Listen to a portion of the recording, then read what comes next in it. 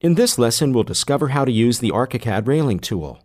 This incredibly flexible tool allows you to create any kind of railings that can be associated with other virtual building elements such as stairs, slabs, meshes, roofs, or walls. This means that the placed railings can follow the changes of the relevant element geometry. Activate the Railing tool and open its Settings dialog. If you would like to skip to the next step, you can apply the stair railing favorite from the Lesson 18 Favorites folder. Like the stair, the railing tool is a hierarchical element, which includes sub-elements, posts, rails, and or panels. We'll browse through all these components and set them manually. You can switch among different hierarchy levels using the list on the left of the dialog, or by simply clicking the element in the Pattern Editor window which is available at the top of the Railing Settings dialog.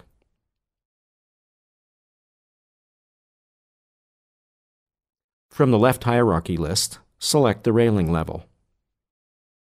Go to the Geometry and Positioning panel and check the following settings. Bottom offset to home story, 0. Home story, 1 gallery. Node and railing associativity, associative. Segment associativity, associative. In the Floor Plan Symbol Layouts panel, select Show On all relevant stories. In the Classification and Properties panel, set the non-load bearing and interior tags. Select the segment hierarchy level and go to the Segment Settings panel. Make sure that the railing segment height is 1000, reference line position is right, and the reference line offset value is 50. In the Segment Pattern Settings panel, click on the Equally Distribute Pattern button and type 1200. Then check the Set Pattern Length to Number of Treads checkbox and set the number of treads to 4. This way, the railings posts will be placed on every fourth stair tread. Go to the top rail hierarchy level. On the Style and Dimensions page of the top rail component settings panel, choose the steel stainless building material. Switch to the handrails hierarchy level and push the minus button in the upper right corner of the dialog to delete the handrail component. On the Rails hierarchy level, use the Style and Dimensions page of the Rail Component Settings panel to set the following parameters. Rail shape, round. Profile height and profile width, 30. Building material, steel, stainless.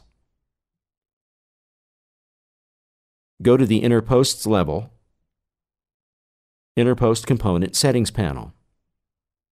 Style and Dimensions page. Select round post shape. Set profile height and profile width to 30.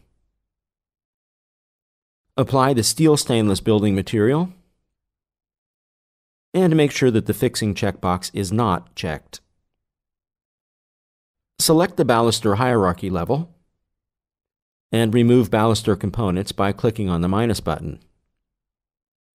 Then go to the panel's hierarchy level push the plus button, and click between the two left posts in the Pattern Editor window. In the Panel Settings dialog, type 70 in the Panel Top field. Go to the Panel Component Settings panel, and on the Style and Dimensions page, set the number of fixings, top-bottom side, to 0. This way the number of fixings, right-left side, will automatically be set to 2 type 8 in the panel's thickness field, 20 in the overlap, and 50 in the fixing overlap fields. Then switch to the fixing settings page and set the left and right offset correction values to 10. On the 3D representation page, Choose the steel stainless building material for fixing elements.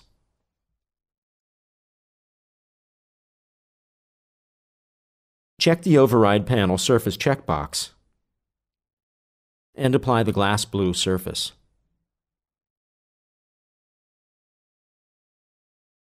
Go to the node hierarchy level and set the ending node offset to 100 millimeters. Activate the post hierarchy level and in the post component settings panel, set the same parameters as you did for the inner posts. Post shape, round.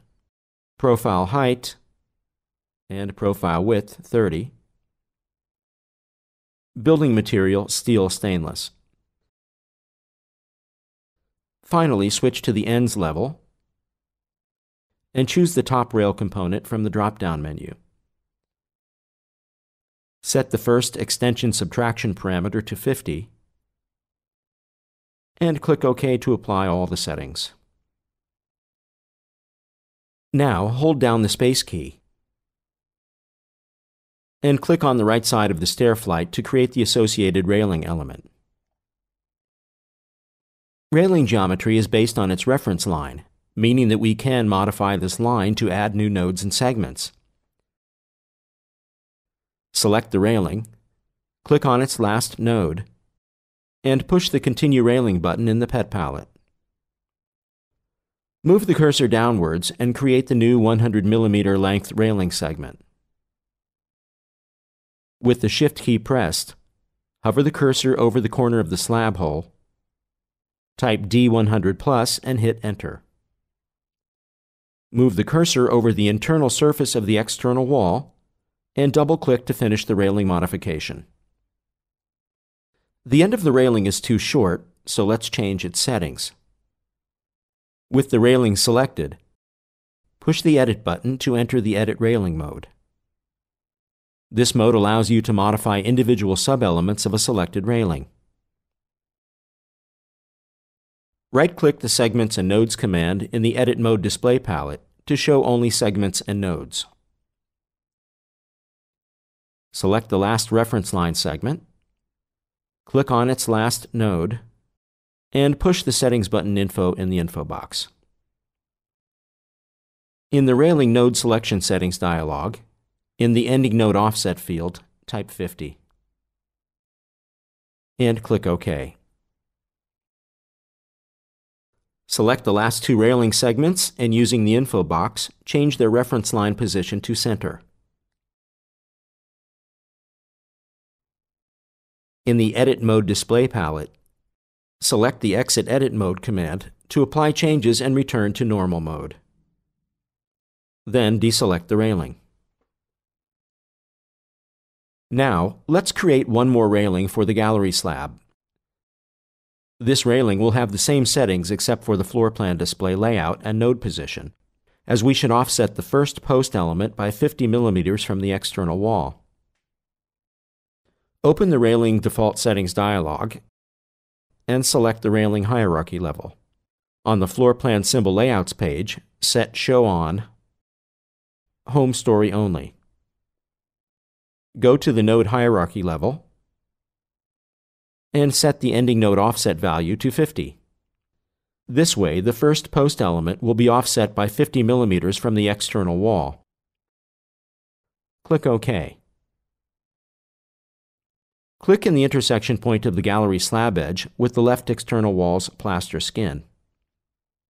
Move the cursor to the intersection point of the gallery slab edge with the opposite wall plaster skin, and double-click to finish the operation.